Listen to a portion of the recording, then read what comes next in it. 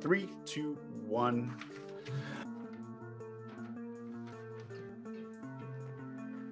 It's awesome music, right? Right? You like you like the music to start off. Today, on the episode of Big Data Big Questions, we are doing another interview in our interview series. Today, I have a very special guest who is not only an amazing person and an amazing guest for the Big Data Big Question show, but she's also a dear friend. So, Erin Banks, you've probably seen a couple of videos we did with the, check it out, wore the shirt, huh? Big Data Beard. Is that coming in? There it is.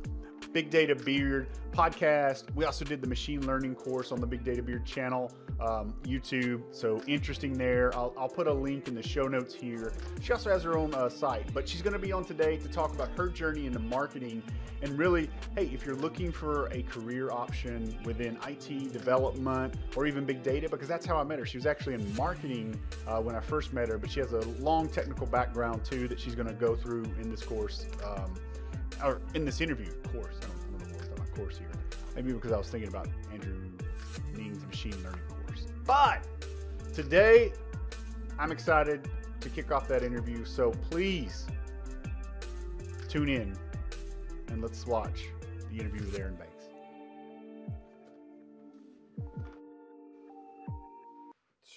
Three, two, one. Hi, folks. Thanks for tuning in to Big Data, Big Questions. I'm excited to jump into this interview and talk to Erin Banks. Erin, say hello to the Big Data, Big Questions community. Hello, community. How's it going? Man, it's been a long time, Erin, since I, we've talked. I know um, for anybody that's watching, I'm not sure if you uh, remember, but with the Big Data Big Beard, or was it Big Data Beards? What was just Big Data, just one Big Data Beard. I think of Big Data Big Question. So Big Data yeah, Beards. So on the Big Data Beard team, we went through what was it, the machine learning course, um, and so we, we spent a lot of time on some uh, on YouTube there. But this is the first time being on the Big Data Big Question show, so thanks. Well, thank you for inviting me. I feel honored. I know. Well, we've got some hard hitting questions here. So, uh, tell me tell me how excited you are afterwards no but no um, so today we have you on and you've been gracious enough to give us the time to talk about specifically you and i work together and i know you were involved uh, and, and helped me out a lot uh, you know when we were working together i know you were you were responsible for our ai and analytics messaging for a long time but today we're here to talk about product marketing director um, specifically around i know you've always worked in tech um, from that perspective. So I, would love to have your take because we get a lot of questions around that. So I think that's where we're gonna where, where we're gonna start. But before then, how about you give us a little bit of background? Um, tell us, you know, how how you got into IT and what, what, what you've been doing. Oh, it seems like so long ago. I'm really starting to feel kind of old. But uh, anyways, I have a electrical engineering degree, so I have a technical background. And I will admit though that when I was going through college, um, IT wasn't really, you know, a big thing, you know, in the sense that only one out of like 20 people, even I would say more than that, had like a computer at their desk. Like I remember my first computer, right? And everyone remembers their first computer, but I remember it because a lot of people did not have the computer. I was kind of the only one who had a computer at school. So that was pretty long ago but it also was kind of like interesting. It was a different time. So when I came out of college, you know, it was an engineering degree. So I automatically went to the technical companies. And I remember interviewing with Sun. Um, and I remember interviewing, tend to always end up with these like technical type companies. So right out of college, I ended up at this company called Bay Networks. And I was doing tech support because I knew that I liked working with people. Like I liked, I liked chatting with people and the one thing that I really got out of my degree is that it just helped me think. And without a doubt, like I can do a little bit of like electrical stuff, but I can't do any of it now, right? I mean, and I, I I feel like that's how it is for most people. But I just like to solve problems and find different ways of getting to, you know, the end point. So that's how I ended up in tech support. Uh, if anyone knows anything about Bay Networks, it's no longer existent. It got bought by Nortel and then became Nortel Networks, and that's not really. It's pretty sad what happened there. Um, huge financial problem. But either way, I was driving to the mall in Bedford, Massachusetts, and RSA, the security company, was having a um, open house event, and I applied and I got a job doing tech support for security. But I ended up doing having a customer meeting. And at that time, it's when EMC had acquired RSA. And I went to a customer meeting. It was a federal customer. And I just kind of like shot the shit with one of these other sales reps. And one of them was from Ohio, and that's where I'm originally from. And a couple weeks later, I get an email from a sales rep that was like, hey, listen, we're looking for someone with some security experience. Uh, would you like to kind of come to be an SE with an EMC? And it was hard because I'd only been at RSA for like six months.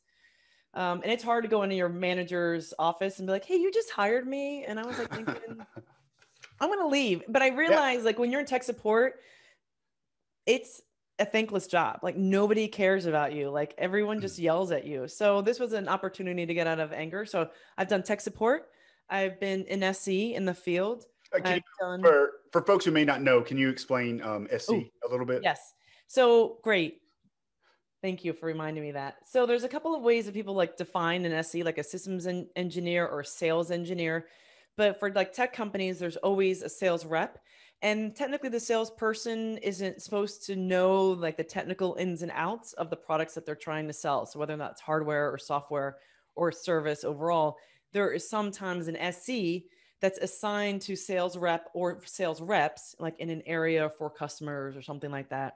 And they provide all the technical insight and information and kind of spec out what they sh- the customers should be buying, things like that, based on their needs. No, that's a good description. And like I said, I know I know for me, until I became an SE, I didn't even know what an SE was. Right. I so, agreed. So uh, you know, uh, I think it's I think it's kind of good and it's interesting. Well, I, I, we could do a whole show around SEs, and I think, I think maybe I think maybe we maybe we should. But um, I, it, it, it's still a technical role. It's it's very interesting. It's it, and it's hard, but that's awesome. So six months in, and it's yeah. like, hey, you, we went to one customer meeting, and they're like, we've got to have we've got to have Erin Banks on the team. Yeah, well, I think a lot of it, what I've uh, kind of found is, um, especially from a sales and even an SE perspective, a lot of it is a personality. And kind of it's interesting to go back. I had no idea what being an SE was either. But the reason why I said Sun when I was talking about the interviewing is because that's what I was interviewing for, but I had no idea right. what it was. Okay. all that basically it said was you're going to go out with a sales rep and sell things. Now, coming out of college, I was like, I'm not comfortable doing that yet. Like, I, I did co-ops, but my right. co-ops were like soldering, you know, chips on a board, you know. So I did not, you know, have that experience of being in front of the customers and doing it. So I initially thought, well, listen, I'll do tech support first because then I can get comfortable talking with people, especially when they're angry at you.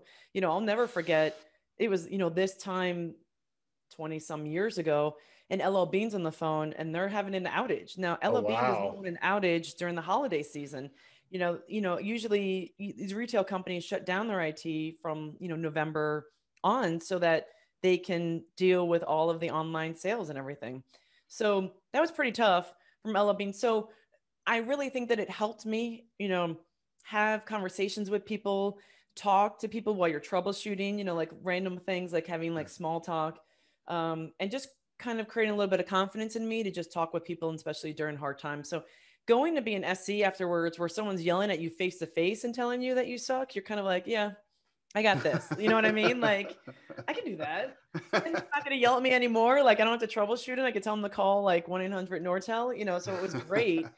Um, so I just thought it was like just perfect. And, and I was just like, why not? And I, what I have found as I've now grown in my career is that people will be like, hey, why don't you join my team or why don't you do that? I'm like, why not? Like, okay, like I've got, really got nothing to lose at this point. Um, if you're going to pay me my salary, uh, you have great benefits, right? You're giving me money so that I can retire uh, down the road and things along those lines, then I'll take it. Like, I'll try it. And, and even like talk about not knowing anything. So when I, initially, when I came over to EMC, um, as you may or may not know, EMC had acquired a virtualization company and they were they had owned it, but I didn't know anything about it. And that's how like new into like IT I was in the sense of like I wasn't even an expert in storage or you know the documentum at the time or anything like that i was just saying yeah i can learn it you know i do i did network management at bay networks and i did security so i continued to do security you know from the rsa side things into these emc customers but I just was like, I'll just try it out. So then once again, I'm at a customer, Lockheed Martin, and there's this new group called V Specialists that had started within within EMC. And the goal was that if a customer was going to do virtualization, we wanted them to do it on EMC technology. No idea what virtualization was, but I was like, I'll apply for that job. Like, I'll try it. Um, the irony of it, of it is the guy who didn't hire me is now my boss, and still to this day, I like was like, so you felt bad about not hiring me, right? You realize you were wrong I did get hired on the team eventually because I think what people knew about me is that like I could be in front of a customer, I could have a conversation, I could respectfully be like, "Hey, I don't know the answer, but I'm going to get it for you." And I'll never forget right. that was how I got hired into Bay Networks because I was like, I don't know the answer to that. You know, I didn't know networking at the time, but I said, I don't know it, but I'll find out always those key kind of things, like just random things that even to this day, people are like, that's why I hired you because you said that. So I just tried them, even though, you know, they always say, especially for women, they're always like, we always kind of like hold ourselves back and say, like, don't do it because you don't know the experience.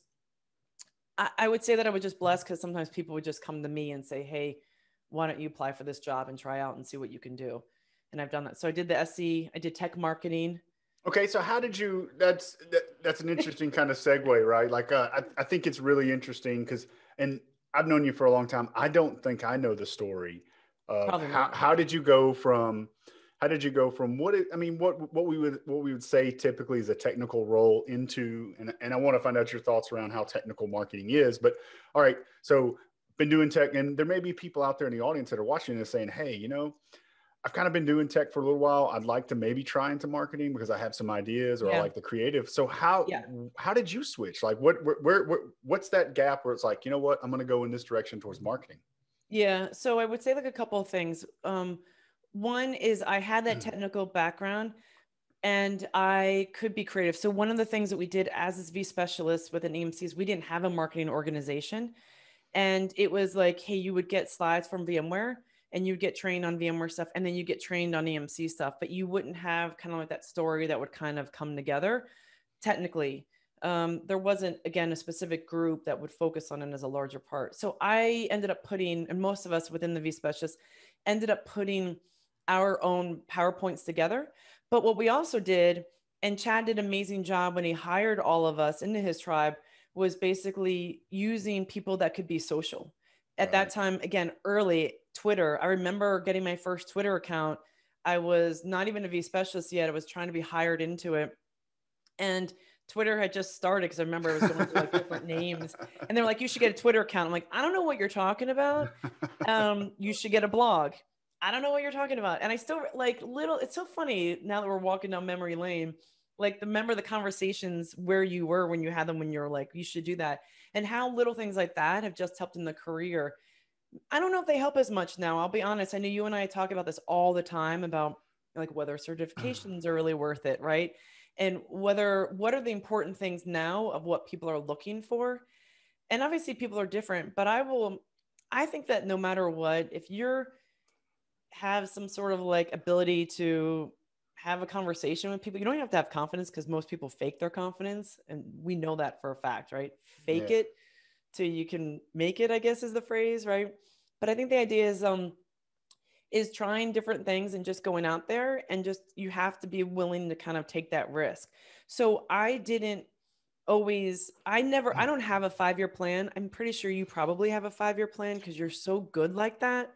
But I, tried, I don't have one. I tried 3 I, have been doing 3 years at a time three? just because I still have to have that kind of I don't want to say instant gratification, but like you know what I'm saying? Like it's hard I mean, if you think about it, I mean, it's it's hard to to or at least for me to conceptualize where it's like, man, you know, sometimes you look at it and it's like, like if you're going to run a marathon and but maybe you want to just break it into like five miles at a time, right? Yeah, but I think thing. that's oh, marathon training is the worst. But what I think is really interesting and what I think I found out a lot now, being you know in this pandemic and being home and some things that have happened in both of our lives this year is kind of like what I realize is it's not always been about this job or a title or whatever, but the idea of like, mm. what kind of life do you want to have in three years? Right. So in in three years, um, you know, do you want to be retired eh, or you want to have a second home or you just really, really want to be busy and trying something new and learning and, and whatever. And that's the way that I'm trying to like phrase it now. Like, where am I, what's my next step and what am I going to do? Like I said, it's always been this kind of thing of like, let's just try something new. So that's helped me. But now I realize, is it always wanting to be on a plane? Right. Um, when I not right now. Yeah, no, not right now. we kind of don't have that option right now. That's true. So. Although I've heard some companies, are, you know, luckily I feel like we're lucky because they're keeping us home, but some companies aren't doing that. Yeah. But I think like, um, there's just that again that idea of like, what is it that I'm looking to do? But when I was at VMware, I was gone every week that I had to give my dog to my sister so that she could watch my dog. Like yeah. my dog forgot who I was for three years. So was that was was that when you were in marketing? Oh my god, I know. I feel like I'm bouncing around, and I haven't. Like, it's okay. for bringing me back on track. uh, no, so I went. So I was at EMC. It was a v specialist The, that yeah. team was getting disbanded, so we needed to look for another job. So I took a job at VMware, being an SE, doing security at okay. that time. They Sticking with security for a while. Okay, yeah. Yeah, and they just acquired like, or they were re- acquiring Nicira for the NSX. So that was very, very early on things. Oh, so oh, can I? Yeah. I got a question. Let me. This is something that just kind of just stuck out to me. So a lot of folks that I interview and I've talked to, or that I'm just friends with, if they, if they're if if they come from a networking background, a lot of hmm. times they do specialize in security. Why is that? Like you you worked at Bay Networks and you said that yeah. you know working working from that perspective went to rsa did the V specialist, but then went back to security so is there something inherent you know with networking and i'm not a networking person so i'm just now i'm just curious you know i never really like thought about it but i definitely see that there could be like that link right they go hand in hand right i mean you're literally trying to just protect the data that's traversing the network right? So what is there and how quickly you can get it? And getting from point to point right? We talked about this the other day of like different breaches that have happened mm-hmm. and the idea of like sitting there and watching the network because they're looking for things that are on the network. And as a security person we'll put things like honeypots on networks to kind of bring in the hackers so that you can really help understand who they are define kind of like their way of breaching organizations what they're doing and hopefully trying to find out what they're looking for even if it's like fake information or whatever. So they go hand in hand because you're protecting the data that's on the network and they're getting on your network to get the data right? They if if there was no network they couldn't steal anything other than going directly you know physically to it. So i never really looked that they were kind of connected but they definitely seemed to kind of be along those lines and definitely um you know that's interesting but yeah yeah maybe i'm seeing a trend maybe i'm not i don't know it's just no i definitely think i talk to people it's and i think like most well, there are obviously some exceptions, but I worked. So I went to VMware, um, was an SE, and then I went to Juniper and did tech marketing, and that was from the networking side of things, doing security. Oh, so to your point, security. networking company doing security for virtualization. So open networking kind of capabilities, software defined networking. Uh, Juniper had Contrail. So definitely doing kind of those things, and I, I feel like we're still kind of stuck in it. I will admit um, having that security feel, a little bit of knowledge. And again, I love security because you really, really have to think it through. Um, it can be really frustrating because, again, it's a thankless job. You're never going to be 100% secure. There's always going to be breaches. And I love having security debates. I think you and I have had them before of like, yeah, you know, is it really that bad to be on the front page of a paper? And if you do little numbers behind it, neither here nor there, not for this kind of show. But um, the idea, again, I always created to go back to like the original question about how did I kind of end up in marketing from an SE is because we created our own presentations. Like, well, I remember one of my presentations was talking about how many integration points that we had from VMware into the EMC storage, and I related it to a hydrangea. So you mm. can imagine standing like, and I did federal. So I remember being in Oklahoma and and I'm sitting in the front of the room and I was like, so does anybody know what kind of flower this is? And everyone's head that was down was immediately like, we're talking about a flower in a presentation, you know. So I I think people just kind of like noticed that I had I just try to look for different ways of doing stuff. I like being different than anybody else or doing things differently. I don't want to say everyone else, but I feel like that may be an advantage that I have of not having like a marketing background in a marketing organization. Yeah, you can definitely tell whenever you present. Um, you, I, I, I, think you're one of the best presenters, and I mean, oh, that's funny that that's funny that you said that about the uh, flower. So it, it, it sounds to me like so you always kind of created your own content, and then you kind of saw saw that there was a gap there, or yeah, it was like, hey, and trying you know, to create like analogies, right? Because you think tech support, I have to exp- constantly explain to somebody how to do configurations on their router, right, or their switches. So I did switching, networking management so you have to be able to verbalize it and kind of explain it to somebody, again, troubleshooting that. And then as an SE, I got down to the kind of point of having to do that face to face and having to explain it to them and also do it visually. Right. And kind of, and I go visually, like here, meaning a PowerPoint or a whiteboard. Right. So, kind of those different ways of realizing if you keep repeating the same thing over and over again, you've seen it like in executive briefing centers, they just get tired and all vendors do it the same. So I've always tried to find different ways, and I've I've been blessed. People remember my presentations, right? Like, hey, look at this flower. Yeah, they're like, "You're that flower person." I was like, "I am, I am." I don't remember what I said, but I do remember there's a flower, right? Because hydrangeas change their colors depending on the amount of acid, and I was just relating it to integration points to the uh, pH level of a soil. It really is a weird kind of analogy, but it got people's attentions, and they always remembered it. Yeah, so, I've seen you call out people that aren't paying attention in uh, presentations too. I the yellow shirt guy, I remember that. yeah, I I do, and I think that kind of also helps of having some sort of like personality and yeah. I mean, it killed. He he never he he never stopped paying attention, and everybody else just kept laughing. I mean, you know, yeah. I thought it was and it great. just becomes a joke, right? Because I I oh my, if anyone said that like I hurt their feelings, like it would break my heart. Like I am not like I am hugs and love and smiles and everything. But I love a good like laugh, like in a good shtick, right? So if I'm sitting yeah. on presentation and I mean it, I like now my joke is like I showered for you, and it's funny. Like I used to make that joke of like I showered today, people. Like this is a big day, and I would actually smell my armpit. the point that the guys that were doing the event in Canada, they were like, uh, some people came up to me and they're like, um, she she showered today. Like that's what they had to tell them. I was like, listen, whatever whatever sticks in their brain Be that memorable, they remember right? it. Yeah, that's all that matters. And that's why I was kind of drawn into like that marketing realm of doing things differently. And I that's my that's my thing. I want to do it differently. I don't want to do it like everyone has done it. Like you're in so, marketing, you've been doing it for 20 years, you're going to keep doing it the same way. And I just like to do it differently. Um, with different videos and different kind of like graphics and different things along those lines because we kind of get especially nowadays with social media i think we just we yeah. see it so quickly and it goes by you want to be memorable and you have to find out ways to do that so so kind of kind of break it down a little bit more for the audience what specifically does a product uh, marketing manager do or how does yeah. how does it uh, uh so totally understanding on the slides and, and some of the other things but what are some of the other things that you know if if anybody's watching this and they're like you know this sounds this sounds interesting like i create my own slides all the time or i'm not the best developer but i'm the one that always has to talk and present our findings to management or to our customer right.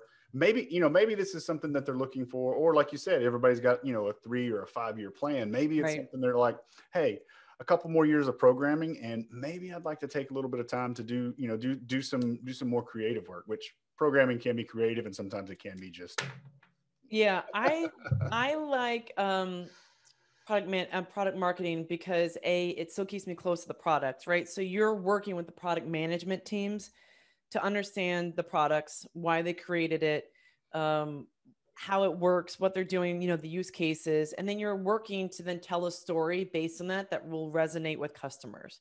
So yes, PowerPoints are it, but what are the images that associate with it, right? When I look at this, like again, here's a hydrangea.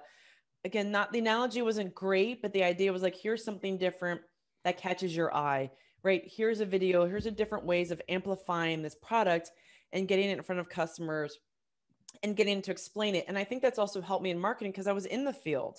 So I'll always be like, I don't like the BS, right? Like, I don't, I don't want to throw that in front of an SE. They're not, a they don't i know that they don't have the confidence to talk about it because they don't know that deck as well as i do you and i talked about that a lot right can that person that i'm creating the deck for give it some people can't give the deck that i make um some like sometimes i just have my own deck when i present to customers but to answer your question it's just being able to stay really close to the product which i love and then also being able to get close to a customers because if you think about like events or conferences right not just the booth duty. You have to do things like that. Yeah. But you can also do the videos, right? If you have like a launch, like at Mobile World Congress or something along those lines, uh, it's your product.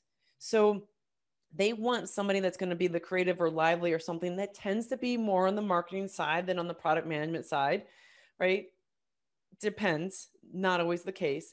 But you know, you can get in front of that camera, you can have those conversations and you can talk to customers, right? They'll put you yeah. in the booth, they'll have you do those things um so it just it was just really really like interesting and i love telling you know a story making it simple making it easy you know i hate trashing my mom but i just always said if my mom can understand this if i can explain it in the language she can understand it then i'm going to win because you always have to worry about your least common denominator and what you know what they understand being an se really helps me with that yeah you know because i realize how's that going to look you know and i remember working with other teams and be like, you can't present that. There's like all it's all words. Like try to present that. And that's what I would do to them. And it's like, let's go into a room and let's project that up in there. And why don't you why don't you tell me that story? Right. And then they're always like looking at the board and you're like, excuse yeah. me, I'm the customer. You have to look at my eyes. Or they start reading it. I do it all yeah. the time. And you're like, oh, you know, so you're like, look, what's the word you want to pick out? What's the image? what's kind of like the idea behind it what's the story you want to tell because there's no no one people will read the talk track but then they make it into their story so what's right. the idea behind it and what are you trying to like focus on it overall? So there has i mean there, I, I know this from from experience and just talking with folks. There there are all kinds of different product you know product marketing managers and people that come from different areas. But yeah. with you with you having so much technical technical background i mean I feel like you're already saying that it's helped so much, but do you think that's a requirement? So if somebody's sitting out there and they're watching, they're like, hey, you know what? Maybe they've got a technical degree, or maybe they don't have a technical degree, but they're like, you know what? I like IT, and I, I do get this question on Big Data Big Questions a lot. Is like, what are some of the roles that are that are non-technical? So is it is it okay, you know, for for people that are non-technical to kind of get in get get into it? Um, I, am I'm, I'm assuming that there may be more challenges. In, in yeah, and I definitely think that. So the answer is no. It, you do okay. not have to have that technical background to do that. And let's just also make it clear of let's just hope that there's people that are not already in jobs that are kind of listening to this is that the fact is like it isn't like when I was growing up that you're like, I want to be an engineer and want to be technical. Like, even to try to get into the technical field, it's not like this was a huge passion for me. It's something that my dad forced me to get into. And when I say yeah. forced, like literally forced me, like, this is it you're going to do engineering and you that was it i think he said i could become like a doctor but i was like i'm not yeah. i knew that i couldn't get into medical school there's a lot of school in front of you in math uh... yeah. and and i knew i couldn't get in i knew i couldn't get in um because I, the one the good you know it's on the rowing team right i wanted to get uh, the really great experience of college. So, so wait, you, you can't be on the rowing team and and, and be working uh, towards medical degree. It was, it was tough enough to be on the rowing team and in engineering and pass. Um, so luckily they don't really require GPAs anymore. But I think yeah. it's kind of like you don't need it. And I will say every job that I've been in and manager managers that I've had, and I've been in techno- technology since the beginning of my career. There's always people that don't have a technical background. Okay. You know, and and again, one of the things that I've, I've realized is the number one thing that's most important, and a lot of reason of why I jumped around is because of my network and the people that I met up with at social events. Still to this day, there was uh, Chris Hoff is his name, Beaker on Twitter, and he was great. And met up with him through a coworker, and we went to just like some social technical, like I don't know what it was, uh, like a stand up kind of event. You know what I mean? It's at night. It was always like some business and a corporation comes in, and you kind of like network still to this day, I, you know, use him as like pinging okay. his mind about like what I should do and what's going on and things along those lines. And it was the network that's really helped me. He helped me get the job in Juniper, right? Where I pinged yeah. his brain and I was like, what should I do? Like what's the next step? Like, what's the next path? You know, like, you know, automation, Kubernetes, like all of these things that weren't around, you know, earlier. You're like, hey, here's next phase. I'd like to get involved with it. Uh, and then, you know, doing your own work, your own research, especially nowadays, you know, there's so much that's like on the web, so many online classes, so many, you know, all of the information that you provide, it's all out there. So having some sort of knowledge and willing to learn and I think people love that. If they can see you're passionate about something and that you're really excited about it and you want to know more and that you've helped yourself train, at least I know when I interview people, like, what have you done for yourself and how have you tried to educate yourself? You don't have to be an expert, but if you're willing to learn and I'm going to put my time and money in teaching you into something, and I know that you want to get something out of it and you're going to be excited about it, then I'm probably going to put my, you know, risk. I'm going to take that chance with you um, even if you don't have a technical background. And that's why, again, that networking is really, really important right. because a lot of it, you just, you know, if you know somebody knows somebody that can get you a job, it doesn't matter what your background is. If they can vouch for you and say that you know that they'll do a good job and things like that, it'll be huge. No, that's great. And, and and I forgot that point until after I asked the question, you started answering it. But you know, you you you have hired folks from all kinds of different different backgrounds so uh, that's yeah. really great perspective there and when you talk about networking because i know we started started talking about networking folks she's talking about your your your your your, your group right yeah. like your linkedin network right again let's remember because you worked at Bar- uh, not barracuda what was it um uh bay bay net oh yeah bay networks and you said jupiter and then juniper why do you always call it it's not a planet but because I, I think I have a, I think I call it Jupiter because of the. You don't drink gin, maybe. No, it's the it's the notebooks. You know, for for deep learning and everything like that, you have Jupyter notebooks that you write. Um, Remember when we were going through Andrew's yes. course? It was yes. the Jupyter notebooks. That's so funny. Yeah, so you're right. It is. Um, thank you for clarifying Juniper. Different network. It's like your your uh, social network. Yeah. Uh, who you kind of uh, reach out to, who you talk to, via Twitter, LinkedIn, meeting at social events. Hopefully not now you're meeting at social events, but you know, things along those lines. Yeah. And th- you know, there's a lot of, there's a lot of cool concepts around it. I, I'm big on LinkedIn. I think, you know, and that's, I've talked, I've talked about it a good bit on this, uh, on, on this channel here is that, you know, I think LinkedIn is a platform that you should be involved with, even if it's something as simple as like, in your own words, don't just copy, you know, what, what, what your company says to send out, but you know, mm-hmm. post interesting things that you're that that you're working on or maybe you know areas that you want to be. So you know if you if you're doing web development now and you want to be in deep learn you know deep learning and machine learning start posting some machine learning things. You know if you're you know if if, if you're interested in product marketing you know I, I, you know post you know post some interesting things that are going on at your organization and have an opinion on them you know i think linkedin is the perfect platform especially now we can't that we can't be you know face to face well i'm going to ask you a question. So on that note like i think one of the most important things that a lot of us are lacking is is asking questions to another person.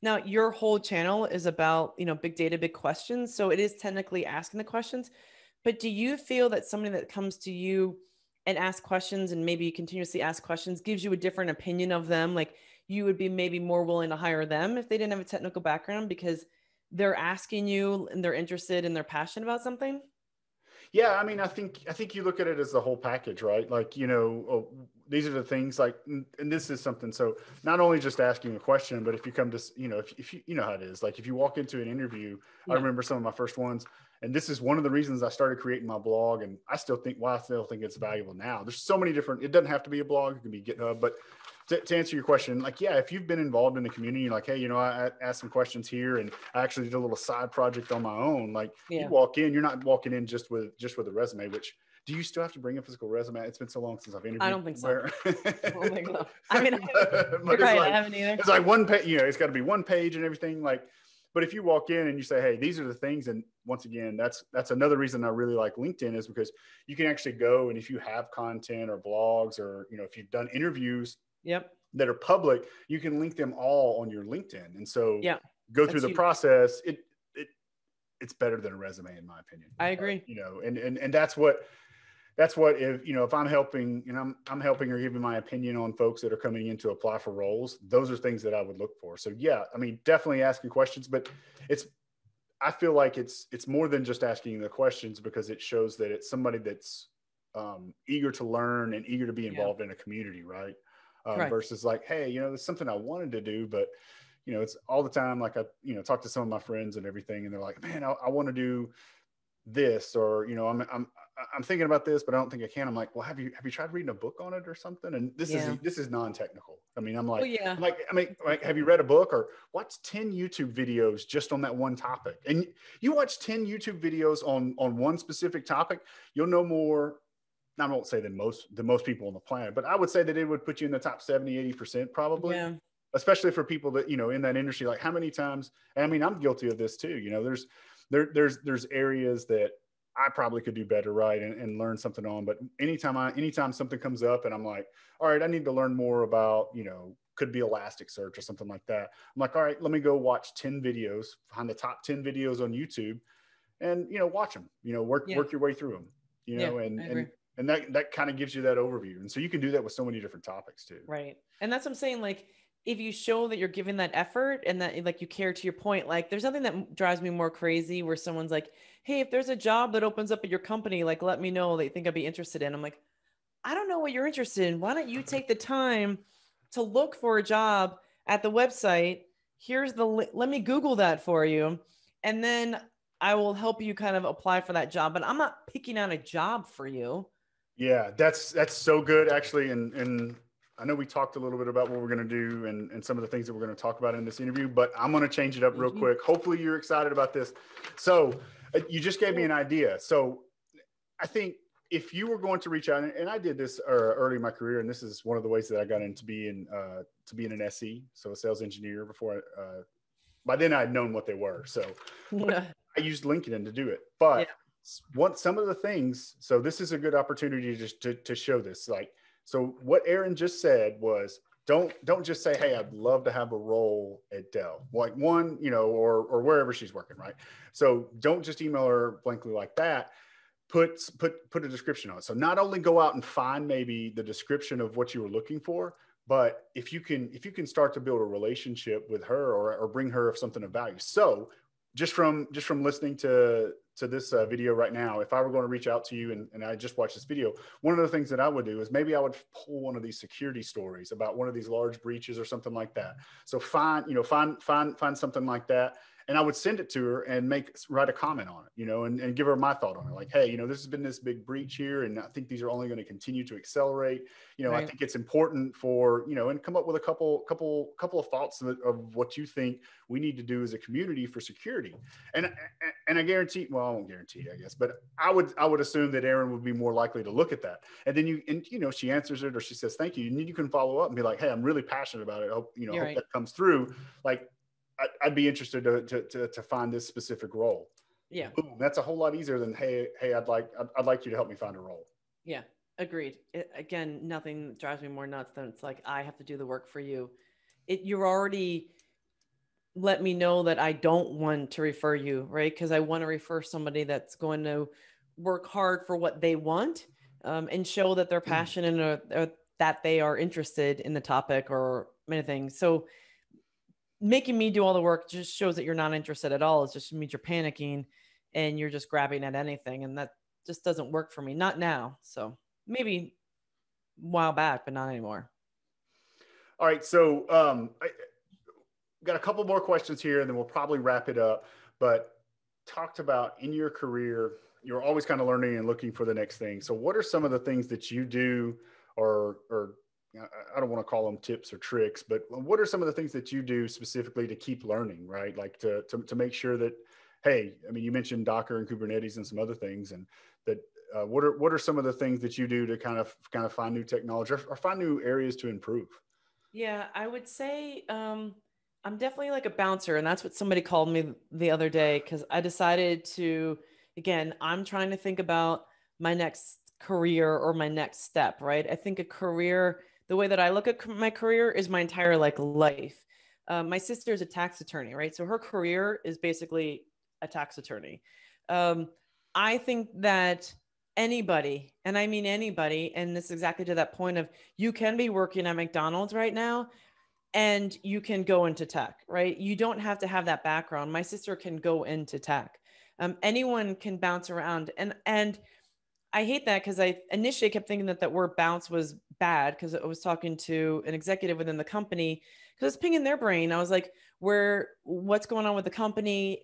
What do you think? You know me. That's another thing that I've kind of also done is like, hey Thomas, you know me. What do you think I'd be good at? Like, do you know somebody like that sends like this company that you think that that culture would I could fit into, right? Because you know everyone's very unique in their personality and kind of like different.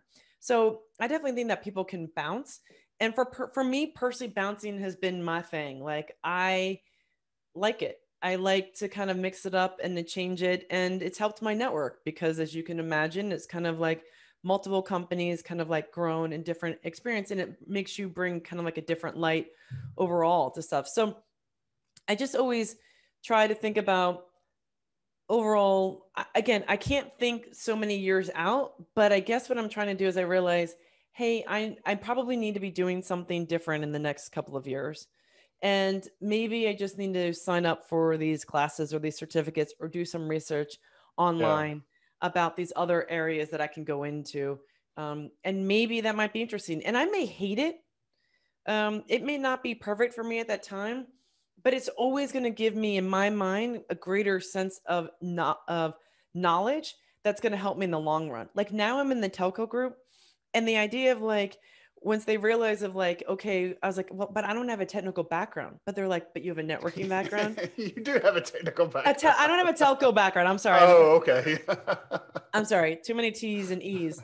I don't have a telco background, although I did work at Bay Network, so it's a little bit of you know because Nortel bought them and they did have like phones. yeah, stuff. they did. Five G now is not at all what it was like back when I was at Nortel.